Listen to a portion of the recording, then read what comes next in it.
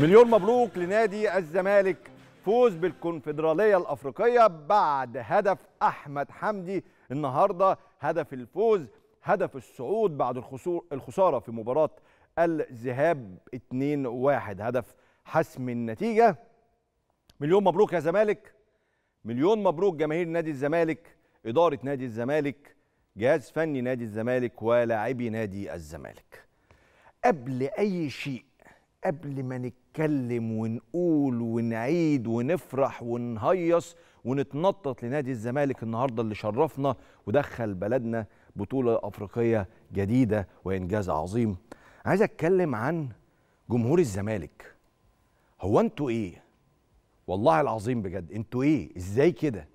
إزاي في جمهور قادر إنه يتحمل كثير من الصعوبات كثير من الصعوبات في كل الأوقات جمهور نادي الزمالك يتحمل مضايقات إدارية مضايقات فنية لاعبين أحيانا ما بيبقوش في قد المسؤولية آه، نتائج ممكن تبقى سلبية.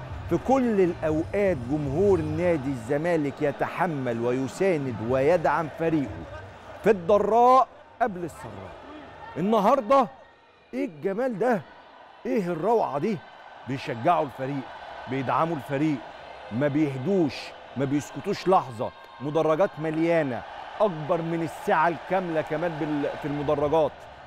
فرحة ومساندة قبل الفرحة ودعم. الزمالك النهارده كسب بسبب جمهور الزمالك.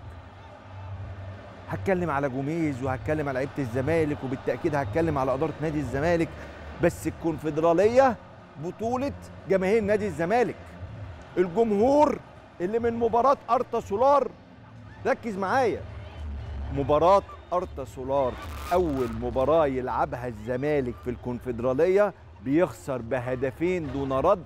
أول هزيمة لفريق مصري في التاريخ من فريق جيبوتي. يجي هنا مصر الجمهور مالي المدرجات يخش هدف في الزمالك في الأول وخلاص الزمالك بره البطولة من أول دور. جمهور الزمالك ساعتها ما سكتش ما هديش ما حصلوش إحباط. وظروف صعبة وظروف تضايق وظروف يعني تخلي أي جمهور في الدنيا إيه الفرقة اللي أنا بشجعها أنا مش مشجعكم. أنتوا ما تستحقوش التشجيع ده. رغم كده الجمهور إيه ما سكتش. أربع أهداف جابهم الزمالك في المباراة وصعد بيهم وكمل مشواره العظيم في هذه البطولة. فرقة وده يحسب لإدارة نادي الزمالك. وطبعا جمهور نادي الزمالك. فرقة ناقصة بشكل مش طبيعي. قوام ناقص جدا جدا في كل المراكز. انت بتلعب زي ما بيقولوا كده إيه على الحركرك المدرب بره أنا ده لو اتصاب هنزل مين مكانه؟ أنا ده لو ما بيلعبش هحط مين مكانه؟ أنا هح... والناس بقى تيجي تقول لك إيه ما يلعب النهارده ب 4 3 3 ما يلعبش 4 2 2 ما يلعبش 4 2 3 1 ما... يا سيدي عد. عد اللي عندك. كم واحد بيلعب بيهم؟ أكلمك بصراحة الفرقة دي الفرقة دي عشان ما فيهاش عمق عشان ما فيهاش عمق ما ينفعش تكسب بطولة. عمق ده اللي هو إيه؟ لاعب واثنين وثلاثه في نفس المركز. مش بقول اللعيبة اللي موجودة دي ما ينفعش تكسب بطولة لا تكسب بطولة. بس العمق مش موجود مش قائمة. مش أنا عندي لعيب واثنين وثلاثه غايبين ألعب فنزل مكانهم. ما عنديش. لعيبة ما عندهاش خبرات. لعيبة ما لعبتش قدام جماهير. لعيبة ما لعبتش بطولات أفريقية. والزمالك بيكسب البطولة يا جماعة. أنا النهارده بعد المباراة كتبت واحدة من أصعب البطولات في تاريخ نادي الزمالك. بعض الناس قالت إزاي يعني صعبة؟ ده الفريق ناقص كان ما كانش جامد قوي الفرق اللي فاتت ما كانتش جامد. دي أصعب أصعب أصعب أصعب واحدة من أصعب عشان ما بالغش يعني بطولات في تاريخ نادي الزمالك طبقا للظروف اللي كان فيها نادي الزمالك. إيقاف قيد ونقص في اللاعبين وأزمة مستحقات ومشاكل وقضايا وظروف في منتهى منتهى الصعوبة. ورغم كده اللي كانوا بيلعبوا النهارده قائمة الزمالك كلها رجالة.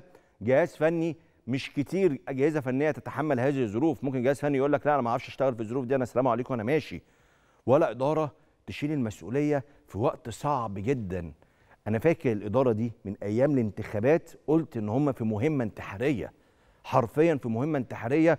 وسبحان الله سبحان الله ما ربنا بيكرم النوايا الصالحة. والناس دي نواياها صالحة من أول يوم وشفنا ده بعينينا. فبصراحة يستحقوا التحية. يعني أنا بالنسبة لي البطولة دي في الأساس بطولة جماهير نادي الزمالك وإدارة نادي الزمالك. يجي بعد كده طبعا الجهاز الفني واللاعبين بس الاثنين دول تحديدا لولاهم ما كانش الزمالك النهارده وصل إنه يرفع كأس الكونفدرالية الأفريقية للمرة الثانية في تاريخه.